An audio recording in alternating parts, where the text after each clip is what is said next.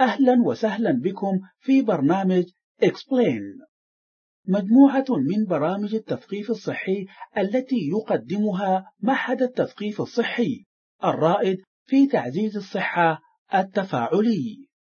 يحوي هذا الفيديو معلومات طبية عامة.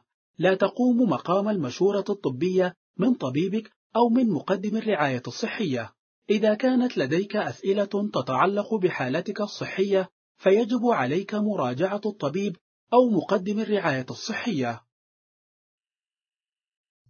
عدوى المسالك البولية مقدمة تحدث عدوى المسالك البولية عندما تصاب المسالك البولية بالعدوى بالبكتيريا عادة. تحدث معظم التهابات المسالك البولية بسبب نوع واحد من البكتيريا الإشريكية القولونية التي تعيش في الأمعاء عادة. عدوى المسالك البولية شائعة وإذا شعر الشخص أنه مصاب بعدوى مسالك بولية فإن عليه استشارة مقدم الرعاية الصحية يشرح هذا البرنامج أسباب وأعراض وتشخيص ومعالجة عدوى المسالك البولية وخيارات معالجتها التشريح المسالك البولية هي نظام تصريف الجسم لإزالة الفضلات والمياه الزائدة. يشتمل السبيل البولي عادة على كليتين وحالبين ومثانة والإحليل. الكليتان هما عضوان لهما شكل حبة الفاصوليا، ويعادل حجم كل واحدة منهما حجم قبضة اليد، وتقعان تحت الأضلاع، واحدة على كل جانب من العمود الفقري عند منتصف الظهر تقريبا. ينزل البول من الكليتين إلى المثانة عبر أنبوبين ضيقين يسمى كل منهما حالبا. يخزن البول في المثانة وهو عضو يشبه الكيس. ثم يفرغ البول من المثانة إلى الوسط الخارجي عبر أنبوب يدعى الإحليل وهو أنبوب يقع أسفل المثانة. عدوى المسالك البولية. تحدث عدوى المسالك البولية عندما تصاب المسالك البولية بالعدوى بالبكتيريا عادة. تحدث معظم التهابات المسالك البولية بسبب نوع واحد من البكتيريا الإشريكية القولونية التي تعيش عادة في الأمعاء. لا تستطيع البكتيريا عادة غزو المسالك البولية لأن الجسم يدمرها ويطردها. عندما لا تكون دفاعات الجسم قوية بما يكفي لإزالة البكتيريا ينتج عن ذلك التهاب المسالك البولية. العدوى البولية شائعة جدا حيث يتعالج ملايين الناس من هذه العدوى كل عام. النساء أكثر عرضة للإصابة بعدوى المسالك البولية من الرجال. هذا لأن الإحليل أقصر عند النساء لذلك لا يتعين على البكتيريا الانتقال لمسافات أطول للوصول إلى المثانة. بالإضافة إلى ذلك فإن فتحة الإحليل قريبة من فتحة الشرج والمهبل لذلك يمكن للبكتيريا أن تنتقل من تلك المناطق إلى الإحليل أكثر من 50% من النساء يصبن بنوبة واحدة على الأقل من التهاب المسالك البولية في مرحلة ما من حياتهم. لا تحدث عدوى المسالك البولية مثل الرجال، لكن عدوى المسالك البولية لدى الرجال قد تشير إلى مشكلة أكثر خطورة مثل العدوى المنقولة جنسيا. برعاية معهد تثقيف المرضى www.patient education.com أكثر من خمسة آلاف من مقاطع الفيديو والبرامج التفاعلية الأعراض تعتمد أعراض التهاب المسالك البولية على العمر وعوامل أخرى. ولكن حتى الرجال أو النساء في نفس الفئة العمرية والذين يعانون من نفس التهاب المسالك البولية قد يعانون من أعراض مختلفة. تشمل الأعراض الشائعة لالتهاب المسالك البولية ما يلي البول العكر البول ذو اللون الفاتح أو الداكن قد يعني هذا وجود دم في البول بول ذو رائحة قوية. عادة ما تشعر الشابات بالحاجة إلى التبول والألم أو الشعور بالحرقة أثناء التبول. قد يذهبن إلى الحمام في كثير من الأحيان ولكن كمية البول قليلة.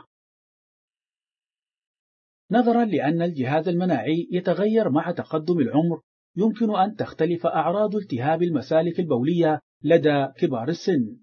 يمكن أن يكون سلس البول علامة على عدوى المسالك البولية لدى كبار السن.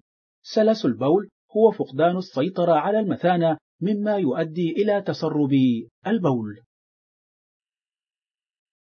قد لا يعاني كبار السن المصابون بعدوى المسالك البولية من أي أعراض جسدية.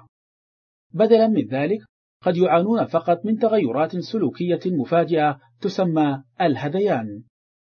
تشمل أعراض الهذيان ما يلي الهياج الالتباس الهلوسة. الأوهام. التهاب المسالك البولية المحصور في المثانة لا يسبب الحمى ولكن يمكن أن يسبب الحمى إذا كان يشمل البروستاتا أو ينتشر إلى الكلى.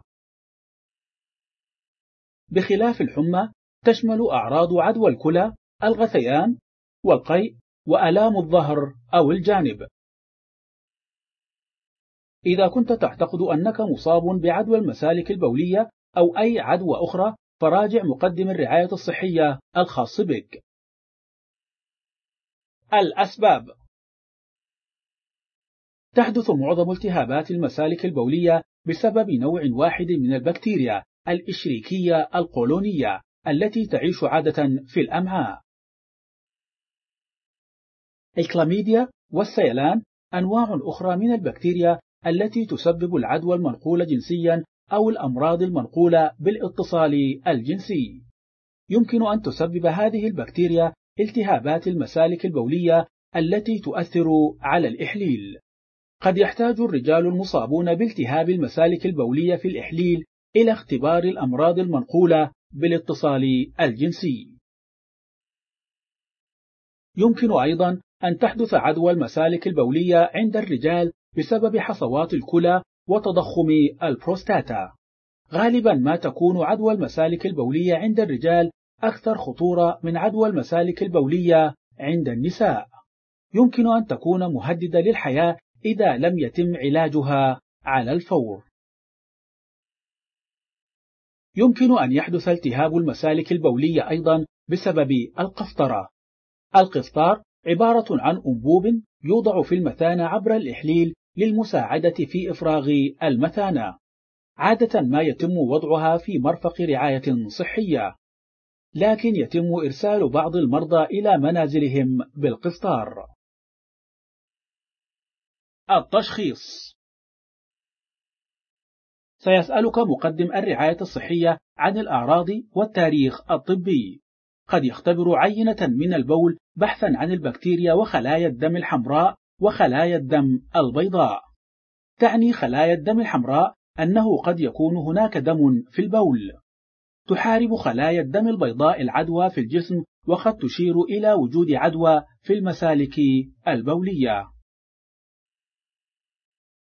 قد يطلب مقدم الرعاية الصحية الخاص بك عينة بول نظيفة لمعرفة ما إذا كانت هناك بكتيريا في البول. يتضمن ذلك مسح الأعضاء التناسلية لإزالة معظم البكتيريا من تلك المنطقة ثم التبول في وعاء نظيف. تساعد هذه الطريقة في منع دخول البكتيريا الموجودة على جلدك إلى عينة البول وإعطاء نتائج غير دقيقة. قد يتم إرسال عينة البول إلى المختبر للاختبار أو يمكن إجراؤها في مرفق الرعاية الصحية. قد يحتاج بعض المرضى إلى الانتظار بضعة أيام لمعرفة ما إذا كانت البكتيريا تنمو في العينة. قد يحتاج الأشخاص المصابون بعدوى المسالك البولية التي تحدث بشكل متكرر إلى اختبارات إضافية لمعرفة ما إذا كانت المسالك البولية طبيعية. المعالجة عادة ما يتم علاج التهابات المسالك البولية بالمضادات الحيوية قد تبدأ في الشعور بالتحسن في غضون يوم أو اثنين. حتى لو بدأ المريض بالشعور بالتحسن فلا يجب التوقف عن تناول المضاد الحيوي. يجب أخذ الدورة الكاملة للمضاد حتى تنفد. عدم تناول المضاد الحيوي كما هو موصوف يجعل القضاء على البكتيريا أكثر صعوبة. هذا يمكن أن يجعل من الصعب علاج عدوى المسالك البولية في المستقبل. قد تتطلب عدوى الكلى الحادة عدة أسابيع من العلاج بالمضادات الحيوية أو البقاء في مرفق الرعاية الصحية. لا تؤدي التهابات الكلى عند البالغين عادة إلى ضرر دائم طالما يتم علاجهم مبكرا. اشرب الكثير من الماء للمساعدة في تسريع الشفاء. تجنب المشروبات التي تحتوي على عصير الحمضيات والكحول والكربونات مثل المشروبات الغازية أو الكافيين. هذه يمكن أن تجعل أعراضك أسوأ. يمكن أن يساعد استخدام مسكنات الألم أو وسادة التدفئة في تخفيف انزعاجك.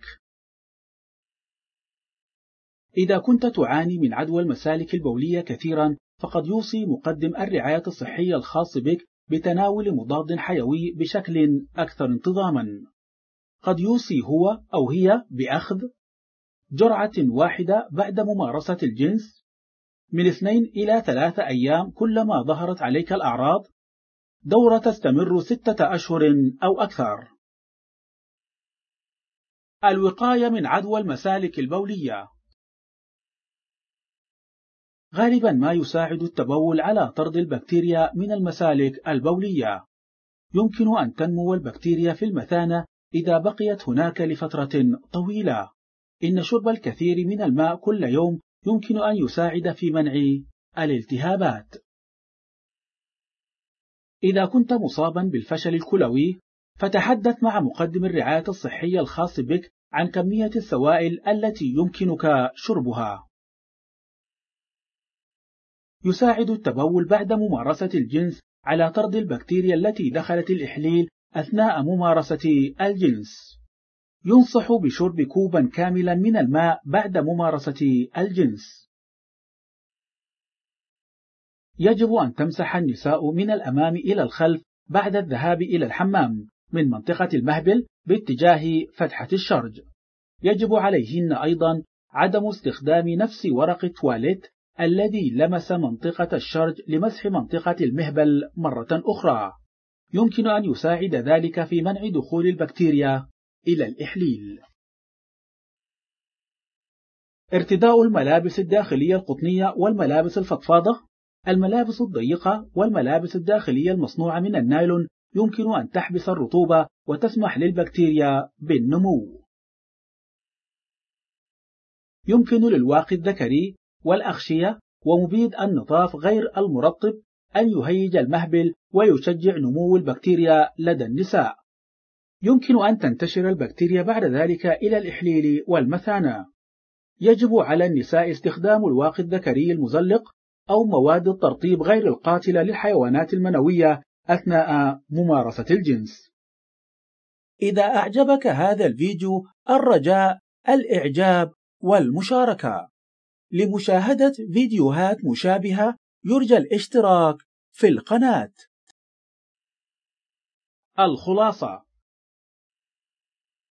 تحدث عدوى المسالك البولية عندما تصاب المسالك البولية بالعدوى بالبكتيريا عادة. تحدث معظم التهابات المسالك البولية بسبب نوع واحد من البكتيريا الإشريكية القولونية التي تعيش عادة في الأمعاء.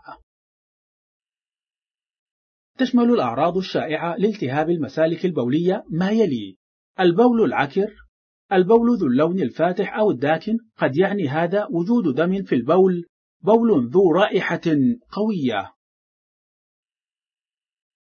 عادة ما تشعر الشابات بالحاجة إلى التبول والألم أو الشعور بالحرقة أثناء التبول، وقد يذهبن إلى الحمام في كثير من الأحيان ولكن كمية البول قليلة.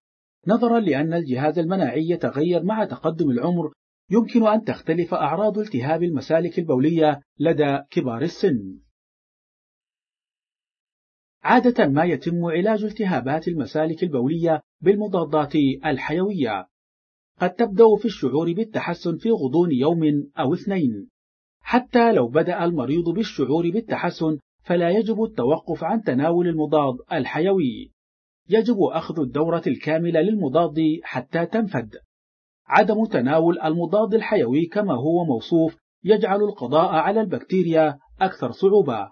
هذا يمكن أن يجعل من الصعب علاج عدوى المسالك البولية في المستقبل.